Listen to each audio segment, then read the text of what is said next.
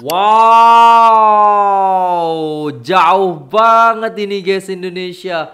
Allah, yang negara-negara lain aja udah 70 juta, 50 juta per bulan. Tapi di Indonesia, aduh, masih 2,7 juta. Ya Allah, kapan nih kapan? Ya Allah.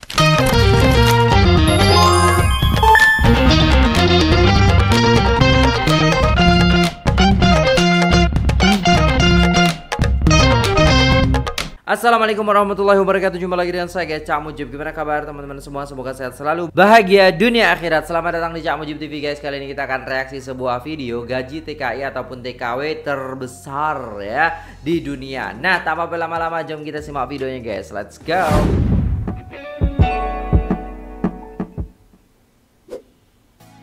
Halo teman-teman sahabat Tio JB Selamat Oke. datang dan bertemu lagi di channel Ensiklopedia Tio JB setelah kemarin kita membahas negara-negara di dunia, kali ini kita akan membahas 10 negara dengan gaji terbesar dan tertinggi di dunia. Wow Kalian dijamin kaya raya bahkan menjadi crazy rich jika bisa bekerja di salah satu negara ini. Oke Negara mana saja itu? Lalu Indonesia berada di ranking keberapa? Oh Yuk kita iya, bahas Indonesia tuntas berang- di video ya? ini. Oke Kembali lagi di channel Tio JB, channel yang mungkin bisa menambah wawasan dan informasi yang mungkin belum kalian ketahui. Aha Dilansir dari situs What Career is Right for Me, Mhm. berikut 10 negara dengan gaji tertinggi dunia. Oke Ternyata dari 10 negara tersebut ada satu negara tetangga kita. Ah Negara yang mana? Yuk kita mulai. Oke oke oke Berikut Penasaran nih guys 10 negara dengan gaji terbesar dan tertinggi di dunia. Oke Tapi sebelum kita mulai, jangan lupa untuk subscribe channel Tio JB dan tekan tombol lonceng agar tidak ketinggalan info menarik lainnya dari Tio JB. Islandia. Oh Peringkat 10 negara dengan gaji tertinggi di dunia adalah Islandia. Negara ini pernah kita bahas di video sebelumnya. Oke Menurut Indeks Pembangunan Manusia PBB, menempatkan negara Islandia sebagai negara paling maju nomor 9 di dunia. Wow Negara ini hampir seluruhnya menggunakan energi terbarukan, Wow khususnya energi panas bumi dan tenaga air. Waduh Pendapatan atau gaji rata-rata pekerja di negara Islandia ini sebesar 656 juta rupiah per tahun atau Wow. 54 juta rupiah per bulan. Industri teratas di negara ini yaitu sektor pariwisata, pengolahan ikan, tenaga panas bumi, tenaga air, peleburan aluminium, dan produksi ferrosilikon. Mhm. Belgia Belgia Peringkat 9 ada negara Belgia. Negara ini memiliki standar hidup, kesehatan, dan pendidikan yang sangat tinggi. Selain itu, negara Belgia juga berpredikat sebagai salah satu negara teraman dan paling damai di dunia. Wow Bahasa Belanda dan Prancis menjadi bahasa yang paling banyak digunakan di negara tersebut. Produk yang terkenal dari negara Belgia yaitu waffle, coklat, bir, dan kentang goreng. Bahkan camilan kentang goreng diklaim berasal dari negara Belgia ini teman-teman. Oke Pendapatan atau gaji pekerja rata-rata di negara Belgia sebesar 678 juta rupiah per tahun Wow atau 56 juta rupiah per bulan. Industri teratas di negara itu yaitu sektor makanan dan minuman olahan, teknik dan produk logam, peralatan transportasi, Mhm. perakitan kendaraan bermotor, bahan kimia, instrumen ilmiah, tekstil, kaca, minyak bumi, dan logam dasar. Oke Kanada Kanada Di posisi ke-8 ada negara Kanada. Kanada terkenal dengan negara urban sebab 82% populasi terkonsentrasi di kota-kota besar dan kota menengah. Secara internasional, negara Kanada peringkatnya tinggi dalam hal kualitas hidup, Oke. pendidikan, kebebasan ekonomi, transparansi pemerintah, dan kebebasan sipil.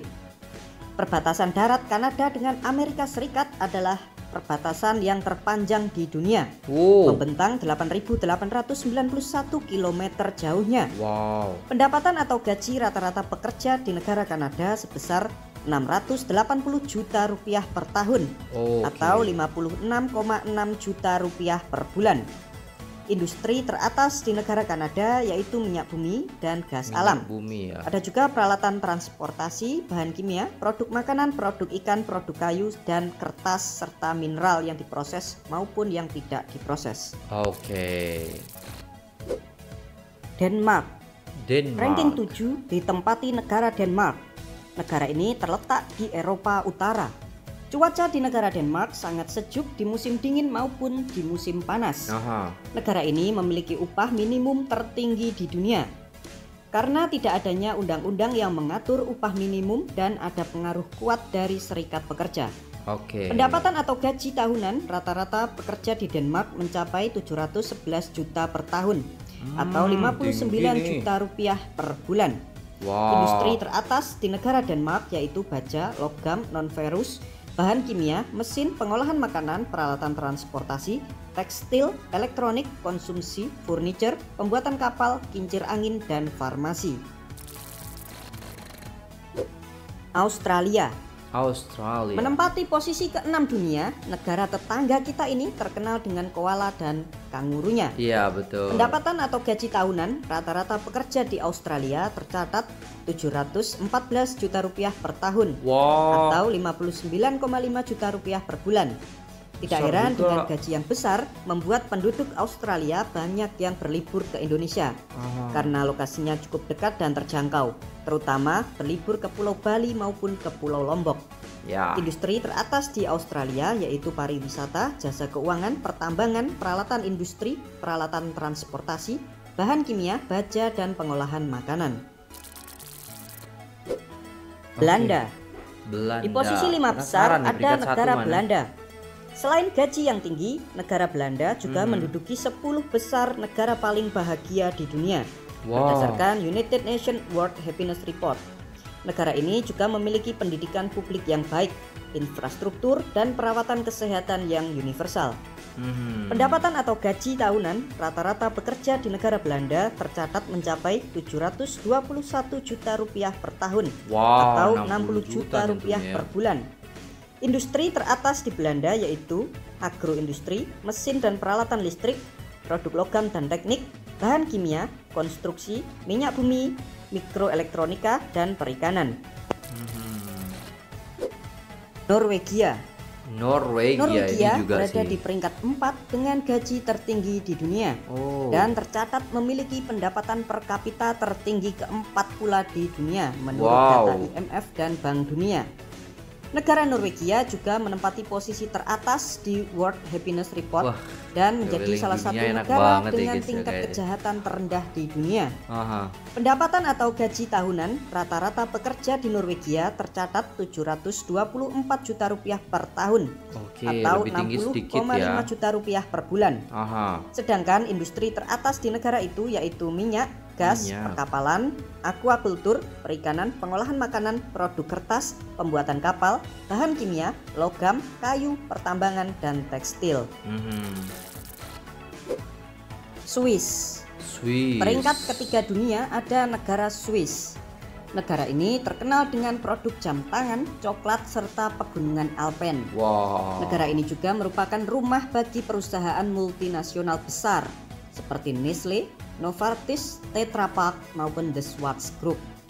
Pendapatan atau gaji tahunan rata-rata pekerja di negara Swiss mencapai 831 juta rupiah per Wow. tahun atau 69 69 juta rupiah per bulan. Gila. Industri teratas di negara Swiss adalah mesin, jam tangan, farmasi, tekstil, instrumen presisi, bahan kimia, pariwisata, perbankan, dan asuransi. Mhm. Amerika Serikat. Amerika. Di posisi kedua dunia ada Belum negara satu, adidaya nomor Amerika satu Serikat mana ya? yang juga menyumbangkan sekitar 25% dari PDB global. Aha. Amerika Serikat merupakan negara terbesar ketiga dan terpadat ketiga di dunia. Di Wow. kancah internasional, Amerika adalah kekuatan politik, budaya, dan ilmiah yang terkemuka. Dengan populasinya yang sangat beragam, Amerika juga tempat percampuran antara budaya, tradisi, dan nilai. Pendapatan atau gaji tahunan rata-rata pekerja di Amerika Serikat sekitar 835 juta rupiah per tahun atau 69,5 juta rupiah per bulan. Mhm. Industri teratas di negara Amerika yaitu barang konsumsi, elektronik, minyak Oh, bumi, baja, kendaraan ya. bermotor, telekomunikasi, pengelolaan makanan, dirgantara, kayu, pertambangan, dan bahan kimia. Wow. Nomor satu nih. Oh. di peringkat teratas gaji tertinggi dan terbesar di dunia Wow. ditempati oleh negara Luxembourg yang juga pernah kita bahas negara ini di video sebelumnya. Oke. Negara Luxembourg merupakan sebuah negara kecil yang terletak di Eropa Barat. Meskipun negara ini kecil, namun negara Luxembourg merupakan salah satu kekuatan ekonomi maju dengan PDB per kapita tertinggi di Wow. dunia. Luxembourg berbatasan darat dengan tiga negara raksasa, Oh. yaitu Prancis, Jerman, dan Belgia. Hampir separuh populasi di negara ini adalah orang asing yang bekerja. Pendapatan atau gaji tahunan rata-rata pekerja di sini mencapai 859 juta rupiah per tahun Wow. atau 71 juta rupiah per bulan. Industri teratas di negara ini yaitu perbankan, layanan keuangan, layanan real estate, konstruksi, baja, logam, kaca, aluminium, teknologi informasi, telekomunikasi, teknik, transportasi kargo, bahan kimia, Hmm. bioteknologi, dan pariwisata. Hmm. Gila. Indonesia Oke. Negara tambahan. kita Indonesia masih jauh dari 10 besar negara dengan penghasilan tertinggi di dunia. Oh. Lalu berapakah pendapatan rata-rata pekerja di Indonesia?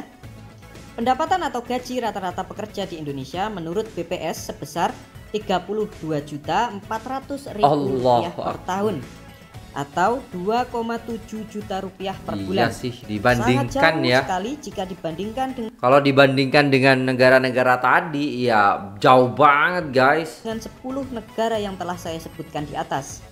Namun patut diingat jika biaya hidup di negara kita Indonesia juga lebih murah ketimbang Betul. 10 negara di atas. Tidak heran kalau ada bule dari negara tersebut main ke Indonesia. Mereka akan keheranan melihat harga kebutuhan yang sangat jauh murah Betul. daripada di negaranya. Betul. Bahkan para bule atau turis asing itu kalau liburan di Indonesia durasinya sangat lama hingga berbulan-bulan baru mereka Aha. pulang. Alright guys, itulah tadi ya 10 negara gaji TKI ataupun TKW di negara yang sangat-sangat tinggi sekali mencapai 70 juta per bulan. Sedangkan kalau di Indonesia itu du- 2,7 juta per bulan guys. Memang jauh banget ya 70 juta ya per bulan tapi 2,7 juta. Tapi alhamdulillah ya guys ya kita masih uh, bisa hidup nyaman, tenang di sini dan juga istilahnya uh, biaya hidup kita juga nggak terlalu tinggi seperti itu ya guys ya. Banyak istilahnya meskipun gajinya sedikit tapi hidup ya. Yang penting kan hidup nyaman enak gitu ya guys. Daripada istilahnya gaji tinggi tapi hati gak gembira ya kan? Ah, tinggal nggak aman dan lain sebagainya. Tapi alhamdulillah kita masih uh, berada di negara yang sangat-sangat uh, kita banggakan ini ya guys ya. Dan di sini kita juga merasa nyaman aman tentram ya di sini kita juga bisa mencari rezeki dengan leluasa seperti itu. Oke, itu dulu videonya guys. Terima kasih sudah tengok video ini sampai selesai. Gimana komen teman-teman? Silahkan komen di bawah. Jangan lupa like, share, komen, dan subscribe ke channel Tio JB guys ya. Oke, itu dulu apabila ada salah kata mohon dimaafkan. Assalamualaikum warahmatullahi wabarakatuh.